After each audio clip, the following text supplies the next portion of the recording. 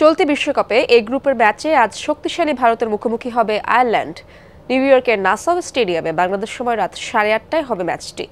দীর্ঘ পনেরো বছর পর টি টোয়েন্টি বিশ্বকাপে মুখোমুখি হচ্ছে ভারত ও আয়ারল্যান্ড। দুই হাজার নয় সালে সবশেষ দেখা গিয়েছিল দু দলের। এখন পর্যন্ত আয়ারল্যান্ডের বিপক্ষে সবগুলো টি টোয়েন্টিতেই জয়ের স্বাদ পেয়েছে রোহিতের দল। তাই এ ম্যাচেও ফেভারিটের তকমা নিয়ে মাঠে নামবে ম্যান ইন ব্লুরা। বিশ্বকাপের আগে বাংলাদেশের বিপক্ষে একটি প্রস্তুতি ম্যাচ খেলেছিল ভারত, যেখানে বিশাল রানে জয় পায় টিম ইন্ডিয়া।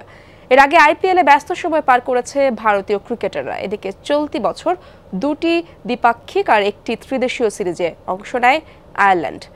আফগানিস্তান ও পাকিস্তানের বিপক্ষে হারলেও নেদারল্যান্ডস ও স্কটল্যান্ডের সাথে অনুষ্ঠিত ত্রিদেশীয় সিরিজে জয়ী হয় আইরিশরা এবার বিশ্বমঞ্চে নিজেদের সামর্থ্যের জানান দিতে প্রস্তুত দলটি।